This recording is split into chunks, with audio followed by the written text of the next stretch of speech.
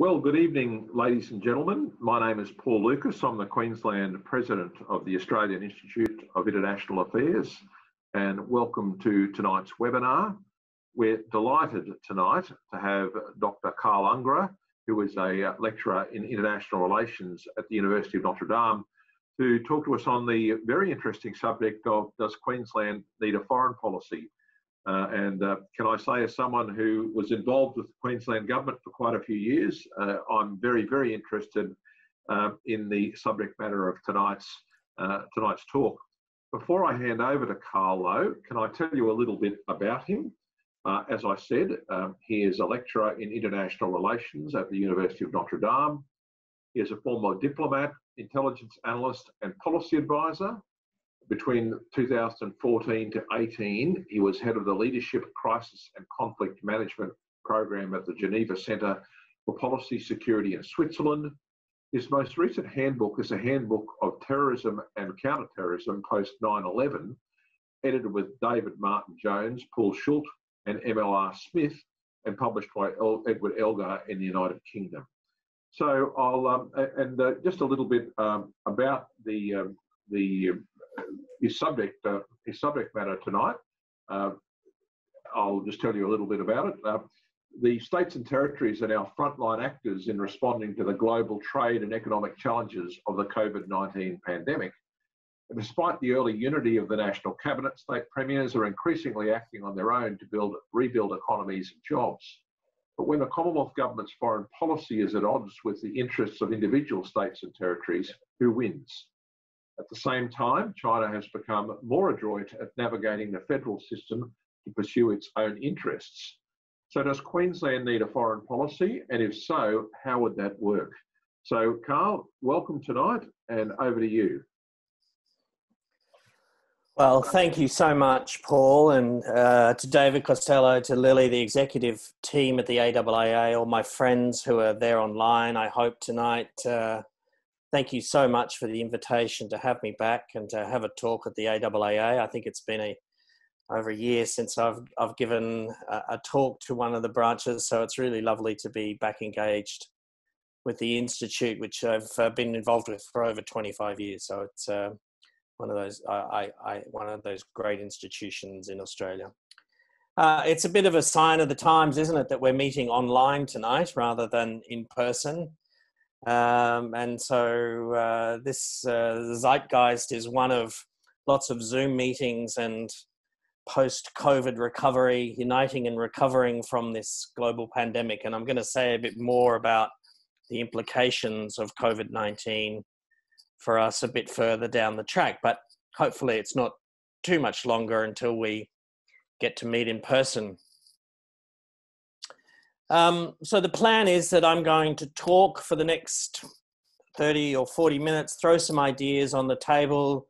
The title of our talk tonight, Does Queensland Need a Foreign Policy, is a little bit provocative. So hopefully it provokes a bit of interest and debate. And I'm really looking forward to getting some feedback and thoughts and questions you might have about this subject. Um, but unfortunately, you know, tonight uh, Marise Payne probably heard that we were doing this, and she's scheduled a foreign policy talk of her own with Rory Medcalf down at the ANU. So we're competing with her tonight. So I, I, I, forgive you if some of you jump in and out. And uh, but I promise you that this talk is going to be far more interesting, hopefully. Um, since I first uh, been started thinking about these ideas, I um, about uh, states and foreign policy, I, I, I, had a number of conversations with AIIA members and academics and others, and it's been really interesting getting some of that feedback and thoughts around the country uh, about this idea. And in particular, if Andrew Carr and Frank Yorn are online tonight, both old friends of mine, I'd, I'd really welcome their contributions to this debate because I think both of them have some particularly interesting insights into this whole question. So, Andrew and Frank, if you're there, hi, and join in anytime, please. So, the question tonight is Does Queensland need a foreign policy? And for my conservative friends in the think tank world, there's a very short and a very simple answer to this question, and it's simply no. Um, for people like Michael Shoebridge or Peter Jennings at the Australian Strategic Policy Institute, they would say that the traditional view is that foreign policy is conducted by the federal government exercising its authority under the external affairs powers of the Constitution, and that's the end of the story. But as Andrew Carr and others have been writing about recently, uh, the story is just not that simple. And in the face of this global pandemic that we're all facing, which has decimated our economies, has ignited these trade tensions both between and inside states, the question I think deserves a little bit more study. For me, the question raises three important issues. First, it's around the changing conduct of Australian diplomacy. The second issue is about the rights of states versus the Commonwealth under the Constitution. And the third issue I want to address tonight is the future of international relations. So these are quite big picture issues we're going to be talking about tonight. And I hope, uh, I hope it provokes, as I said, it provokes a bit of debate. So I want to touch on each of those issues quite briefly and, and get some responses and some ideas generated. So for me, the story begins in 2012 because it was in March that year that Prime Minister Julia Gillard appoints a former New South Wales Premier, Bob Carr, as the Minister for Foreign Affairs and parachutes him into the Senate. I was watching these events uh, with, with, some interest, I have to say, uh, from the trenches of the Australian Strategic Policy Institute where I was working. A couple of days later, Stephen Loosley, the former New South Wales senator, he rings me up and he says, I should go in and join Bob's office as his senior foreign policy advisor. And the interview's tomorrow. I went, okay. Uh, so I go down to Bob's office in Bligh Street in Sydney and uh, and and uh, turn up for an interview. And the, you go into this palatial office that Bob has there, opposite the Lowy Institute, and the room's filled from floor to ceiling with books, as you'd expect. Bob invites me in, and he says in that baritone voice, he says, "What do you think of China?" And I paused for a moment, and I thought, "That's a good question for an incoming foreign minister." Because uh, since around 2009, China had been our largest trading partner. The Obama administration in the United States had announced its Asian pivot strategy. And clearly, Australia's economic and strategic interests were tied up in the triangular relationship between the United States, China, and ourselves. So, um, uh, and on top of that, of course, the Gillard government that year was to publish its uh, Asian Century White Paper, which was meant to be a strategy for how Australia was going to deal with and engage with the region for the decades to come. So, my answer to Bob in this question was this I said, first, it's the right question to ask. Uh, and secondly, I said, Australia continues and will continue to get our China policy wrong when we overestimate China's power, but we underestimate its influence. And we need to do much more diplomatically to shape how China influences the region. And we should be worrying far less about Hugh White's esoteric and military focused China choice thesis, which had just come out at about the same time because I think we do have a choice to make, but that choice is not between Beijing and Washington. Our choice will be between the exercise of a very creative and effective middle power diplomacy to advance our interests in a more contested and difficult international order. Choice between that or policy paralysis or nothing.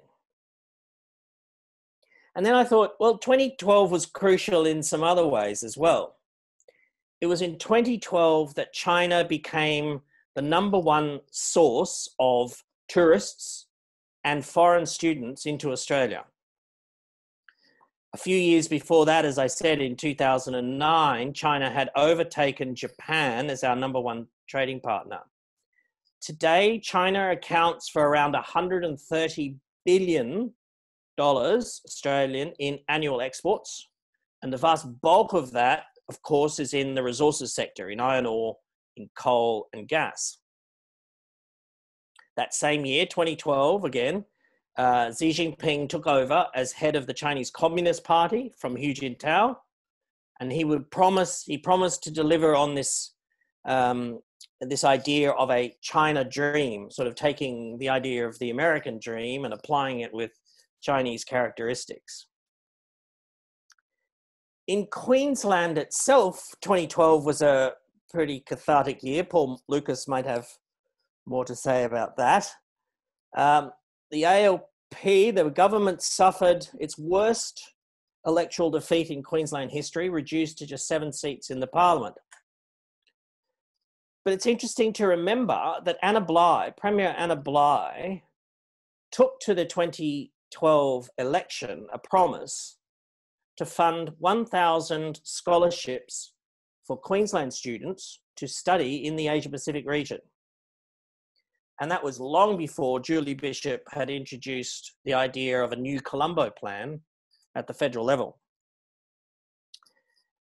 The idea of scholarships to Asia got swept away by Can-Do Campbell, and the rest we now know as history. So, my argument here is that 2012 marked an important pivotal moment in our diplomatic history. We had really at that moment to take stock of the fundamental shifts in the international order to reorient our foreign policy, or we could abandon all of that to three letter slogans. Unfortunately, we chose the latter. Tony Abbott became the Prime Minister in October 2013, of course, declaring that Australian foreign policy would be, and I quote, less Geneva and more Jakarta. Um, so, with that, I decided to leave Australia and get a job in Geneva, where I spent the following four years. The period also marked the moment when the federal government had abandoned any pretense to the idea that diplomacy and development assistance mattered that much. So DFAT funding has reached a historic low of just 1.3% of the federal budget. And the Australian aid budget, as many of you will know, went from a commitment to reach 0.5% of GNI, of gross national income, in 2013 to where it is today at just 0.19%. And if you put that into perspective a little bit, our combined diplomacy, development, and trade budget in 1949 was 9% of the Commonwealth budget. So, this diplomatic deficit, as the Lowy Institute calls it, has severely curtailed our ability, the ability of the federal government at least, to prosecute Australia's foreign policy interests. But money's just one side of this story. The trend over time, I think, has also been to delegitimize the role of diplomacy in our national politics. So we've reached the point today where all of our major diplomatic posts overseas, except Beijing and Jakarta, are headed by political appointees. So London, Washington, New Delhi, Tokyo, New York, Wellington are all of them are headed by political appointments. And I'm not opposed to sending additional ex politicians overseas as an ambassador. Kim Beazley made a very good ambassador in Washington. But the scale of this current politicization of our diplomacy is unprecedented in our history. So, for these last seven or eight years, as the geopolitics and geoeconomics of our region have shifted quite quickly, we have defunded, devalued the very tools we needed to deal with these international changes. And as the saying goes, nature abhors a vacuum. So it's not surprising that in the last few years, states and territories have started to assert their own interests and pursue their own international relations uh, in the absence of federal leadership. I guess the most famous example of this is, of course, the Memorandum of Understanding that the Victorian government signed with China in 2018 on what's called the Belt and Road Initiative, which is China's ambitious and I think unachievable goal, nonetheless, of linking Asia, Africa, and Europe through both land and sea infrastructure corridors. And I want to come back to the Belt and Road Initiative uh, later. So Andrews, the Andrews government in Victoria showed that conducting diplomacy outside the Canberra bubble is more common than many people think.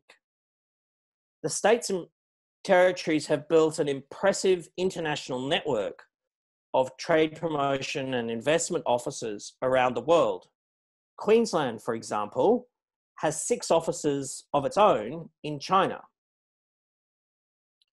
State premiers often conduct overseas visits to showcase investment opportunities and then sometimes even get caught in bidding wars with the other states and sometimes even with the federal government itself over the location of these investment projects.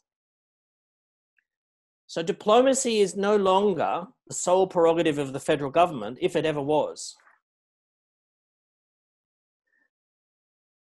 Many of you will know that for many years after Federation, the Queensland had appointed an agent general in London, and that was only meant to be a direct line of reporting through the state governor to the Crown. And then this brings us to our second point. What does the Constitution itself say about states and foreign policy? Again, it's not a simple story. So, Mary Crook and other academics have shown that the external affairs power under the Constitution, Section 51 of the Constitution, is vague and incomplete. As far as I can tell, that vagueness was a deliberate ploy of the states during the federation debates of the 1880s and 1890s. They wanted some constitutional ambiguity on the external affairs powers of the Commonwealth in order to retain their sovereign capacity for themselves. Indeed, for the first 50 years after Federation, successive Commonwealth governments in Canberra didn't really seek to exercise an independent foreign policy. As Allan Gyngell has noted, the title that was given to Australia's early diplomatic establishment, the Department of External Affairs, was very important. Foreign policy, as opposed to foreign policy, which is the crafting of specific proposals, actions, and negotiations with other countries, that foreign policy was direct Britain's responsibility. And as a member of the empire, the only relationship, the only international relationship that mattered for Australia was with London. And there was nothing foreign about the United Kingdom in the first few decades after Federation. So, as a dominion, Canberra then seemed content to outsource its foreign policy to the empire. Australians carried British passports. Um, we, we had only one overseas diplomatic mission in the UK for a long time until around the time of the war when things started opening up. But this was really a sort of antipodean obsequiousness, if you like. And that would continue to underwrite Australian foreign policy for decades. So by the time the 1950s rolled around, and without a hint of irony, Richard, later Lord Casey, the Australian Foreign Minister during the Menzies era, calmly told the media that, and I quote, our foreign policy being moulded on that of Great Britain and arrived at in consultation with her is the best we can achieve. And that was pretty much the best that we did achieve for nearly half a century, I think. On several occasions, the states have even challenged the right of the Commonwealth to sign international treaties where states' rights are engaged. Famously, and in a case that doesn't hold Queensland politics in a very favourable light, unfortunately, was the challenge by the then Bjelke Petersen government to Australia signing on to the UN Human Rights Convention on the elimination of all forms of racial discrimination. The Bjelke Petersen government opposed this because it would create land rights to for Indigenous Australians. Thankfully, the Queensland government under Bjelke Petersen lost that case in the High Court. But it did show that the external affairs power remained ambiguous in the Constitution and could be challenged. As the number of issues confronting policymakers in the field of international affairs has continued to grow, from international education to oceans and climate change, the balance between the constitutional powers of the states and the Commonwealth is again under scrutiny. And so this brings me to my final point. Queensland and Australia face an international order that is changing very quickly and one that requires, I think, some deeper thinking about how we're going to navigate the future. Donald Horne had the famous line in The Lucky Country about a second rate people who have shared Australia's luck. And I think that's a slightly unfair characterization for an entire population. But there is something to the idea that we have been lazy about our recent economic prosperity.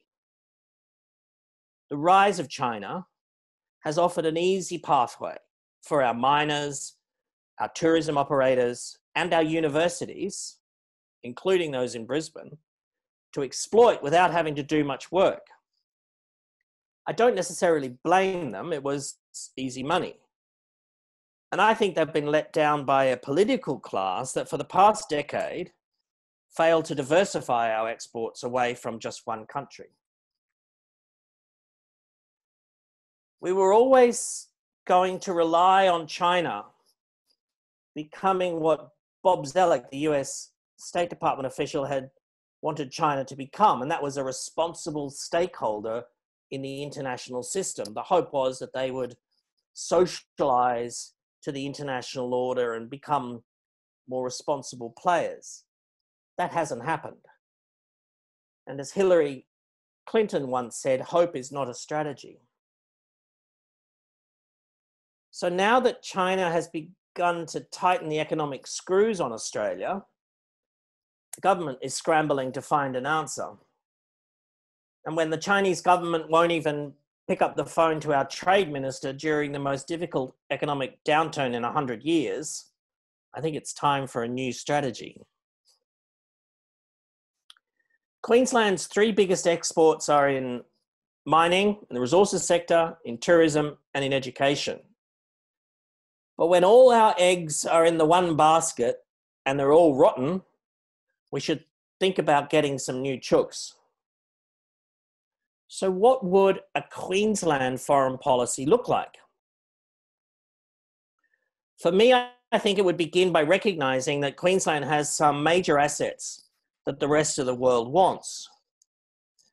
If we were a country, we would be around the same size as New Zealand, a Singapore, or a Denmark and as those small states have shown that if they calibrate their international strategy carefully, if they are selective about the issues that they pursue, and if they work in concert with others in a multilateral setting, they can often achieve good outcomes on the international stage.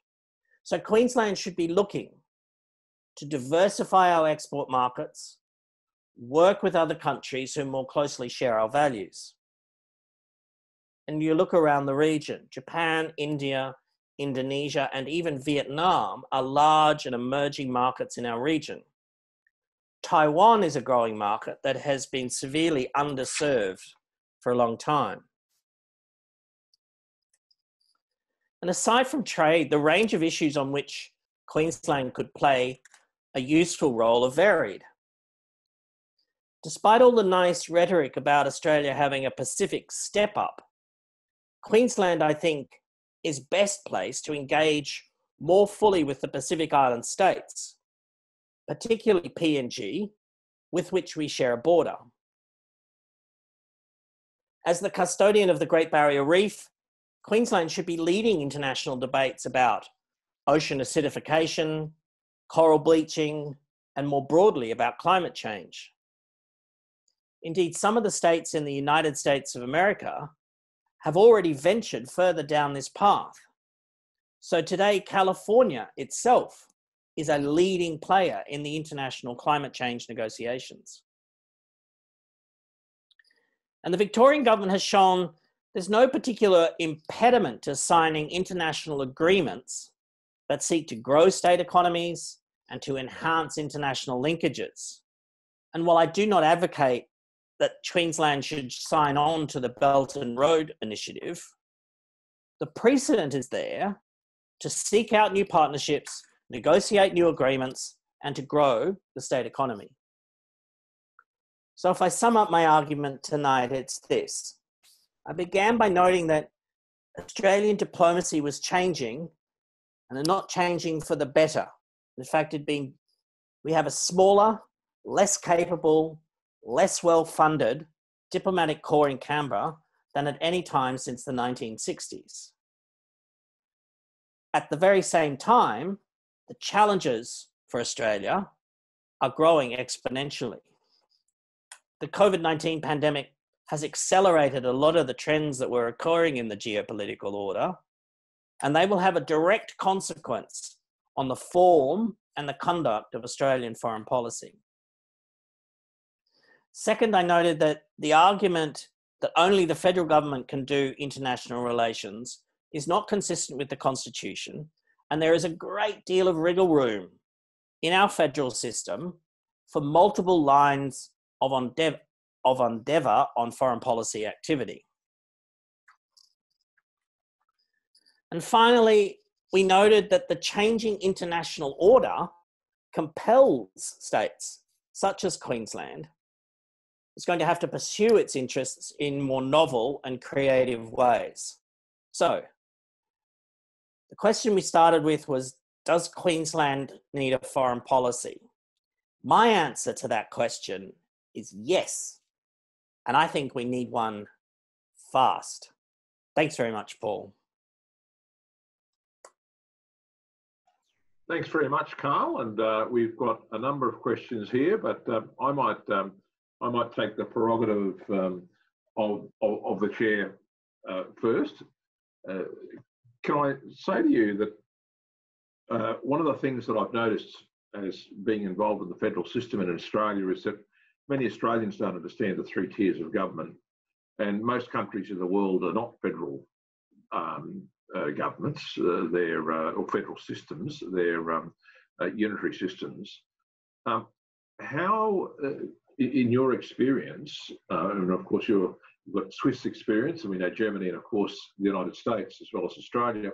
How is your experience in terms of the perception of overseas countries and their understanding of the differences in interests between uh, national governments and uh, uh, provincial or state governments? Yeah, thanks, Paul. It's a good question, isn't it? Because several of our close partners, as you said, are also federal systems. You think of the, the Canadians, the Germans, the Swiss, the Americans, all have federal systems. Um, and I think countries that we deal with overseas are becoming much more attuned to the nuances of federal systems and how to navigate their way around it. I think there's no doubt that the Victoria China relationship was as a direct result of the Chinese government identifying the Victorians as being an early mover on some of these big infrastructure deals and therefore probably a useful point of entry into Australia in that regard when the federal government, even though a year before Victoria signed its memoranda with um, China, the federal government had also signed a uh, an agreement, although the text of that we've we've never seen publicly. But nonetheless, there's a sort of a broad uh, agreement between at the federal level and now China and at the state level. I think countries are more attuned to these federal systems.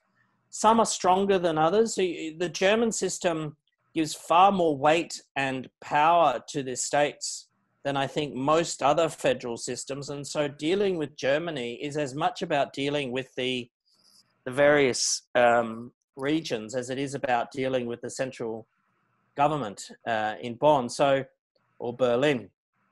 So it's it's it's interesting, isn't it? And I think it's uh, I just think it's a more sophisticated landscape in which diplomacy occurs. I, I'm also reminded that you know we've we've had the exponential growth in these sister city relationships, particularly over the last say 20 years, and um, some cities themselves have their own strategic personality. I mean, cities as large as Tokyo, 20 million people, it's almost the same size as all of Australia.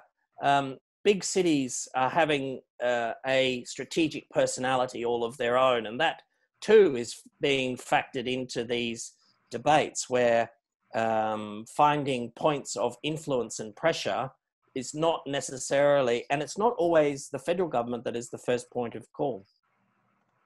Uh, it, it's certainly very interesting that those different personalities, you only have to look at contemporary politics in the United States, that anyone who thinks that that country is a country that speaks with one voice or is all the same, you know, red and blue um, uh, coloured states and the like, the differences between the cities and and everything that's in between the two coasts, of course, is a classic example. Can I um, pose this question from uh, our member Tess Newton Cain?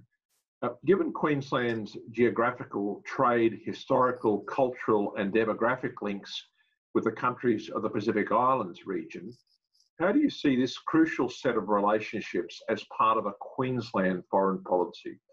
For example, you might you might like to address why uh, Trade Investment Queensland has no presence in PNG or any other Pacific country, um, uh, bearing in mind that generally countries do choose areas of particular strategic comparative advantage for missions and the like. Thanks. Thanks, Paul, and, and, and thanks to Tess for this question, which I hold very deeply in my heart. I, I, think I was telling Paul before we came online tonight, I, I did my second diplomatic posting in Fiji, and I, uh, I, I have a very I have a very soft spot for the Pacific Islands as a one uh, probably the most important arena for the conduct of uh, our foreign policy, um, both at the state and federal level. So let me go through a little bit uh, about that. I absolutely agree with the point um, that much more effort needs to go uh, from TIQ, the Trade and Investment Queensland, and other agencies in forming stronger, deeper relationships with countries like PNG. PNG is now a country of 9 million people, uh, growing exponentially, massive resources, potentially will have a large um, uh, middle class in the next few decades, which a very young country, by the way, and will have a real um, appetite for travel to Australia. And we should be in on the ground floor working with countries like PNG to foster those sorts of relationships. Um, in terms of a Queensland foreign policy, I remember, I'm old enough to remember um, the debates that went on um, at the time of the conflict between the Guadalcanalese and the Malaitans in, in the Solomon Islands before RAMSI, before the Regional Assistance Mission went ahead in 2003. But in that five year period before that, remember we had a series of negotiations that were all held in Townsville.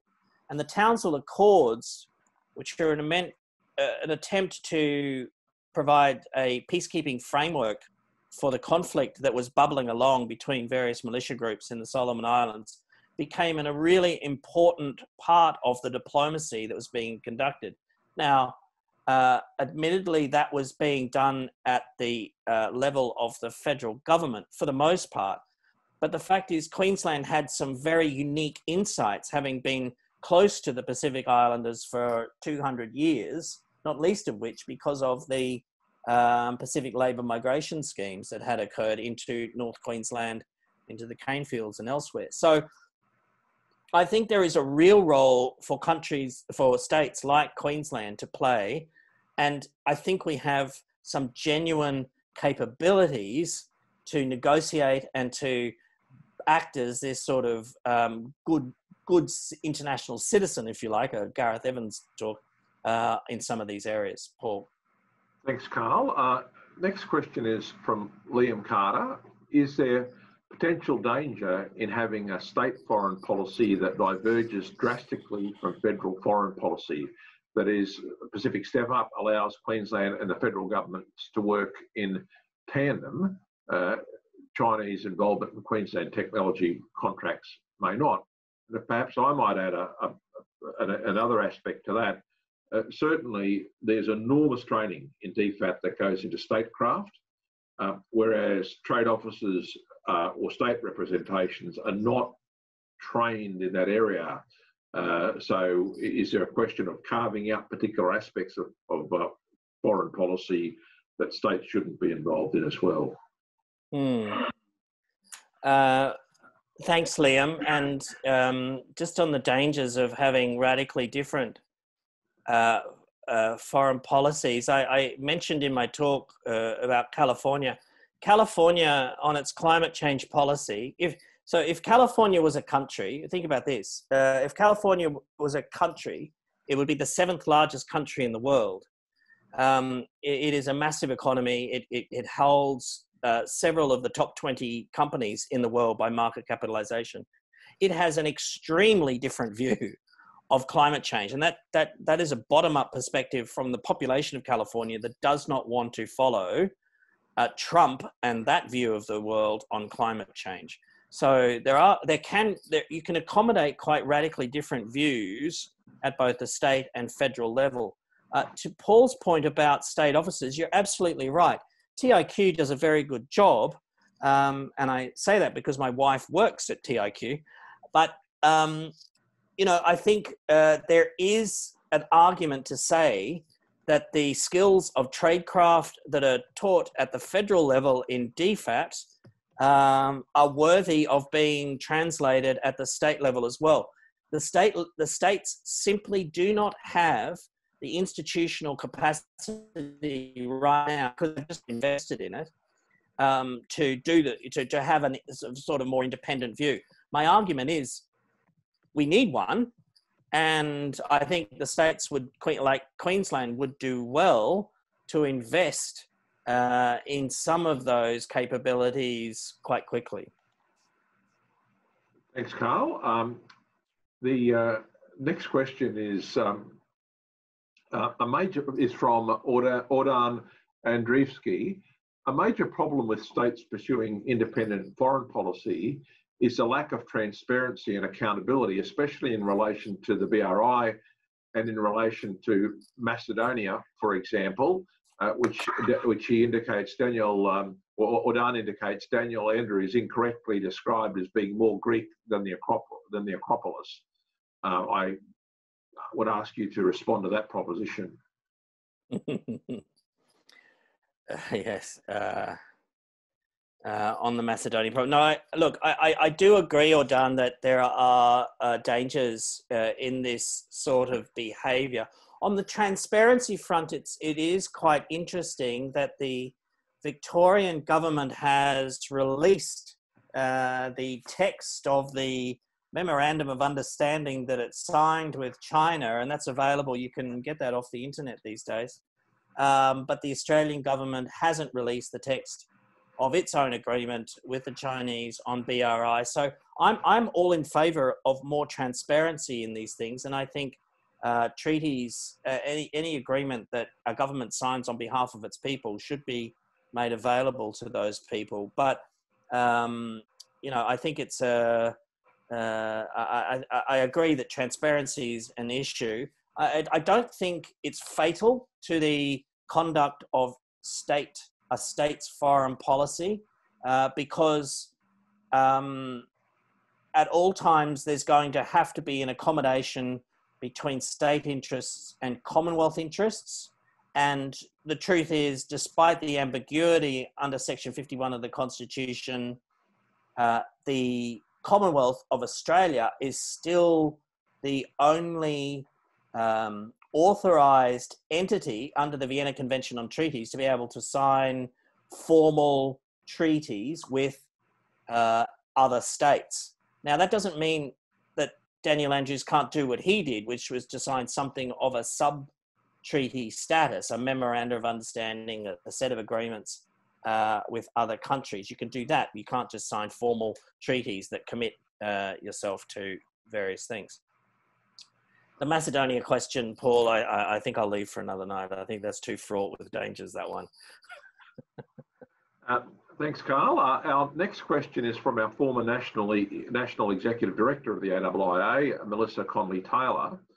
Um, and it's again about BRI. Uh, you said you wouldn't advocate for Queensland to sign on to the Belt and Road Initiative. Why?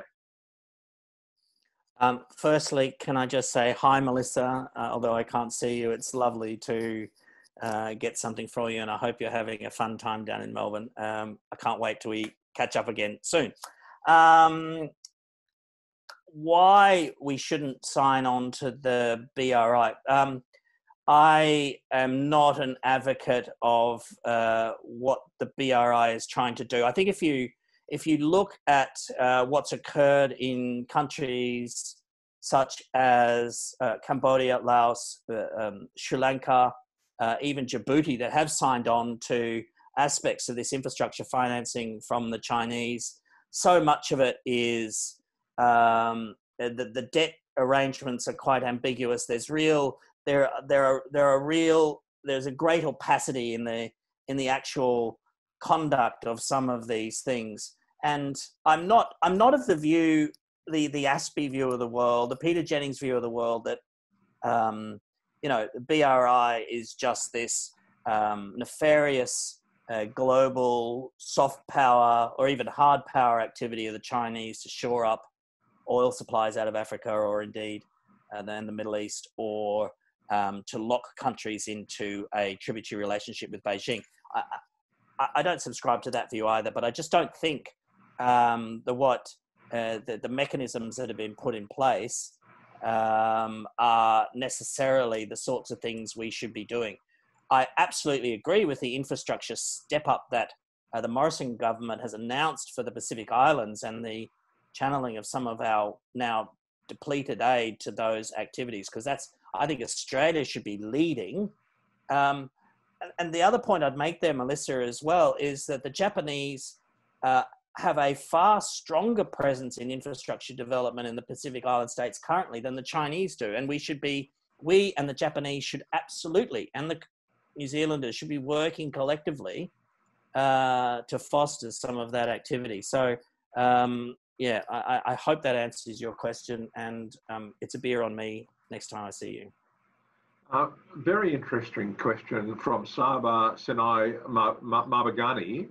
Um, given that rural and regional Queensland are significant contributors to trade through mining, tourism, agricultural exports, and to some extent education, and therefore part of any Queensland foreign policy, how do we ensure that this is a conversation that includes regional and rural Queenslanders and are not as seen as a preoccupation of the southeast corner and uh, has broader legitimacy and ownership.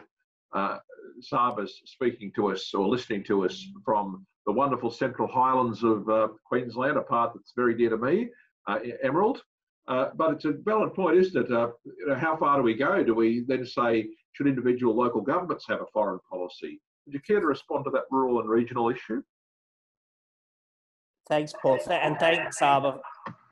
Thanks, Saba, for the question, which I think is really crucial because when you look at uh, Queensland's trading relationships, as I, as I sort of mentioned before, uh, the resources sector, uh, um, tourism, and then education as being our top three. If you um, and then down the list, of course, comes beef and and uh, the ag sector as well, or most of which is in the north or in regional and rural Queensland. Um, they have a vested interest in the kinds of markets we can get our products into. And here's where the split between the state and the federal government, I think, has occurred because, because I think we've put so much emphasis and so much triumphalism around the signing of the CHAFTA, the China Australia Free Trade Agreement, that we thought that the Chinese were just simply going to soak up every bit of produce uh, service that we could provide. Um, that's not that's not going to be the case, as we've seen in the last couple of years. And I think this um, this sort of uh, belligerent behaviour we've seen out of Beijing is going to continue. We shouldn't have put all our eggs in that basket. And part of having a foreign policy is very much about having a, a Queensland approach to the services and goods that we sell in overseas markets and, and having a, a more diversified and dispersed uh, trade profile. We should not have put all our eggs in the China basket. We need to quickly orient away from that. Uh, and that's as, that's as much about what, what, what happens in rural and regional Queensland. Um, and, and I think it's, it, it's, it's really important that we do that because, um, you know, you look at somewhere like UQ, which had um, clearly uh, taken itself down the pathway of overseas students, and in particular overseas students from China, to such an extreme that it now finds itself uh, in this COVID lockdown in extreme difficulties because of uh, all eggs in one basket, as I said. And I think that strategy is wrong. The, the strategy needs to shift quite quickly, and um, we should be looking at other markets for Queensland. Uh, thanks, Carl. Our next question is from Jeremy Matthew Costa. Will Australia's lack of ambition on climate action affect the ability of Australia's state and territories, like Queensland, on building relationships with Pacific Island states given their sensitivity to these issues? If so, should Queensland and other states look to improve their own independent climate policy?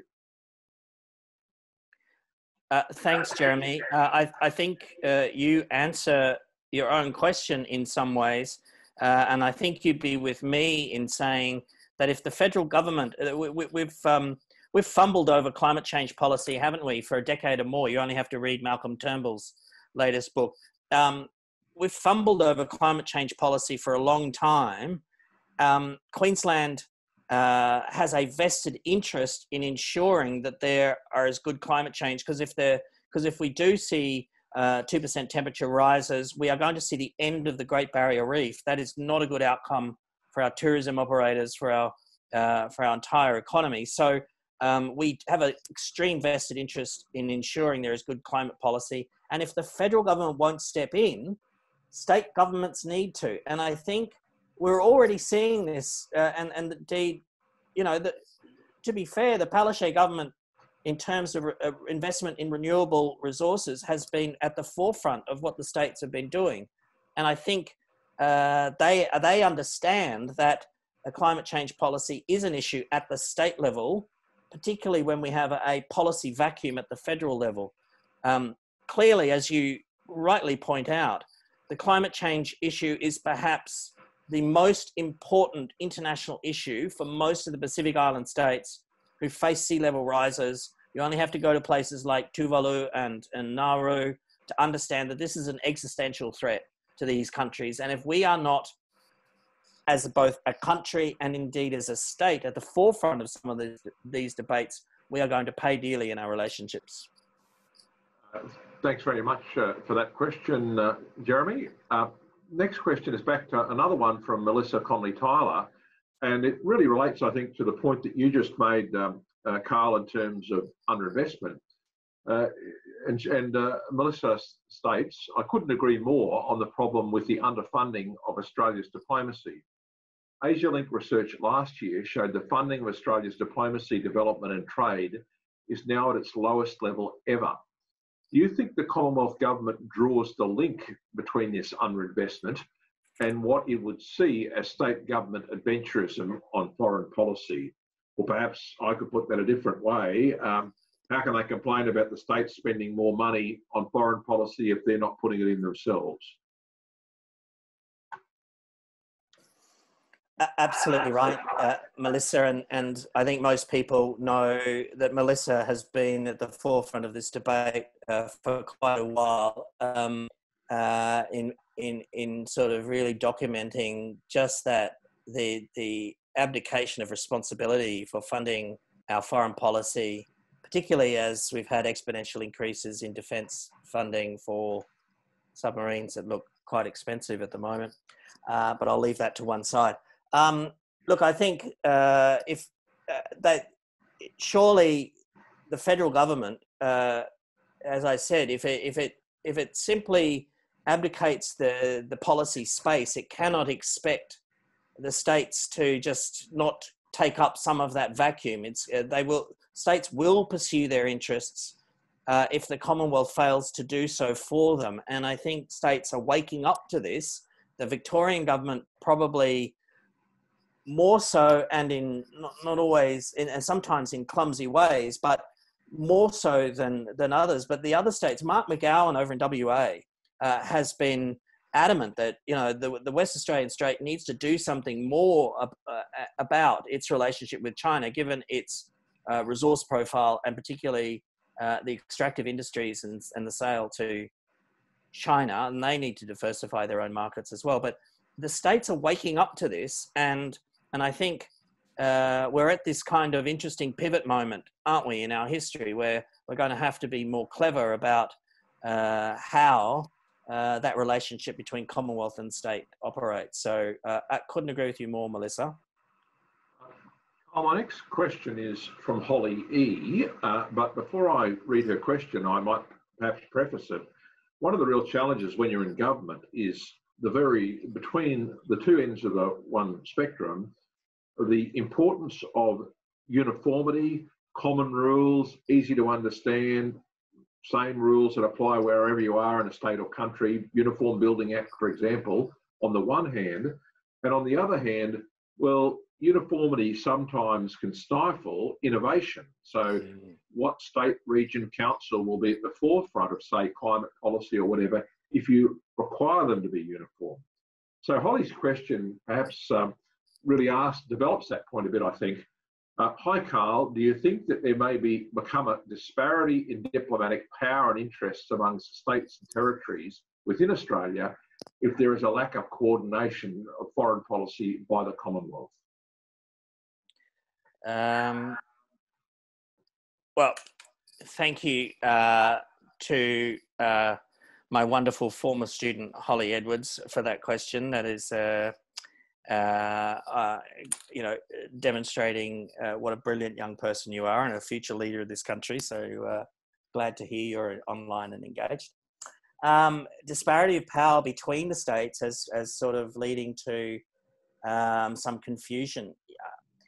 I, I think, um, like countries have national national interests, states have state interests, and those interests are always determined by a whole range of factors. Holly, we would have talked about it in our international relations courses at, at Bond University.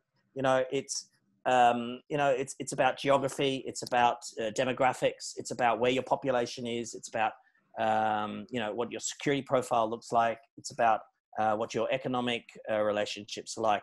All of those factors lead you to identifying both national and at the provincial level at state state interests, and those are the interests that you need to safeguard. So they're going to be different in different jurisdictions in a country as big as Australia. You know, just like the Californians have a different view from Washington, um, WA has a different view from Queensland, and that's a function of you know much smaller population, larger resource base, all those sorts of things. So, those, you know, I, I do I don't think that disparity of power necessarily is going to be the constraining factor in the in states taking up more of the slack, but I do think it's going to um, you know there is going to be some creative tension with the with the federal government as the states do this sort of thing. my next question, uh, thanks very much for that one, Carl. My next question is from Yuan Zhang. Uh, and again, I'll, I'll, preface it perhaps by this. We have certainly seen the United States articulate uh, and in some cases actually act on a punitive uh, actions against governments that he, it has disagreed with uh, in relation to uh, actions concerning, for example, China and some other countries. Yuan Zhang asks, uh, don't you think the Victorian decision of being part of BRI may ruin Canberra's China foreign policy and American Australian relations. And I would add, and what might be the consequence for that uh, to, uh, to Victoria or indeed Australia? Um, uh, thanks, thanks for the question, Johan. I, um, I think ruin is a tough word. Uh, I don't see Victorians signing on to BRI as uh, ruining our relationship uh, with either the Americans uh, or indeed um, sort of complicating uh, Australian broader foreign policy if the Australian government were to pursue its interests in ways that we want them to. Um, because this agreement, as I said, is at the sub treaty level. It's a memorandum of understanding. It's not a formal treaty alliance arrangement. So there's no there's nothing legally or uh, in practice that would um, you know uh, constrain Australia doing other things. It simply commits uh, Victoria to working with China on these big infrastructure projects uh, where there is mutual benefit to do so. Um, Daniel Andrews has said that it has um, it has delivered more jobs, it's delivered more infrastructure spend in Victoria, and that's what he is focused on. And of course, that's what every state premier is focused on. They want jobs, they want investment, uh, and um, they will they will pursue those interests regardless. I think, and sometimes um, in, irrespective of uh, what Canberra does. Uh, the last question uh, uh, I'm going to I'll, ask uh, because it's an absolute cracker. I think from again from Ordan Andrievsky. Carl, the Nash, and, and, we'll just about wind up, and I've got a little commercial at the end, so don't go away, everybody. Uh, Carl, the National Cabinet model has proven successful in, in tackling the COVID 19 pandemic. Should it be used as a platform for formulating coherent foreign policy and building up diplomatic capacity and impact? Thanks, thanks, John. I I agree with Paul. That is a cracker of a question, and I was quite uh, pleased at the early period of the national cabinet uh, and the unity of purpose and action that seemed to uh, be occurring there. Unfortunately, it's not really a cabinet in the same sense. It doesn't have a collective decision making responsibility for the whole country. It's just a sort of a like COAG. It's a sort of a beefed up COAG where you have um, sort of coordination of policy rather than decision making of policy, which is what a cabinet really should be. Um, I, I, I mean, the, the idea is appealing at one level. If you really did have a national cabinet made up of the federal government plus the state premiers and territory leaders, uh, and who had uh, came to the table and made actual decisions on things rather than just communicating ones back to their various jurisdictions.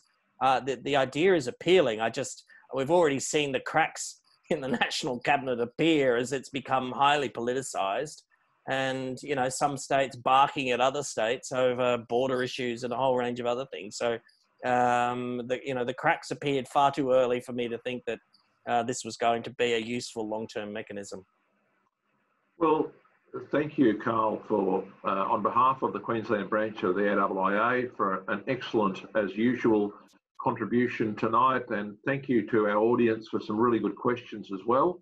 Um, it, it, again has been a pleasure to have you all online. You'd be pleased to know that we're working towards, however, because we are social beings, as humans, uh, getting back to a um, uh, back to a, uh, a, a, in the flesh presence. Uh, but augmented perhaps with webinars on a number of occasions. I should just get you, Carl, if you wanted to draw anyone's attention to your latest book, where uh, if uh, our watchers or viewers might get hold of that, where's the the best website to, to purchase it from? There it is. Thanks, John. Anyone who wants to buy the Global Handbook on Terrorism and Counterterrorism uh, since 9 11 uh, will need to spend about 400 pounds, and you can only get it from London. And I think about two libraries in the world have actually bought it. I think I own one of only three copies in Australia, so uh, I, am not expecting anyone to go out and buy it anytime soon. right. Okay. Well, look at it through your library. Uh, finally, everybody, though, uh, just to let you know of our uh, of our next and highly relevant um, webinar, which will be on Tuesday, the 7th of July at the same time, six o'clock. Uh, Air Vice Marshal retired John Blackburn will be speaking about Australia's national resilience. Uh, John is an expert in talking about supply chains. One of the things that we know, not only with COVID 19, but also perhaps with uh, increasing instability in Southeast Asia, the potential of either interdiction of our supply lines or alternatively merely a pandemic causing interruption to them. Uh, and we've uh, seen a lot of discussion, particularly from John, uh, about uh, interruption to manufacturing supply chains, interruption to oil supply chains, interruption to pharmaceutical supply chains. Fortunately, we make our own toilet paper in Australia, so it's not a problem there, and food is pretty good. But there are so many areas where do we actually need to say, right, we might be able to get something cheaper uh, from overseas, but is the national interest so strong that we need to uh, actually make sure that we are protecting that? We've seen a number of oil refineries in Australia, for example, close.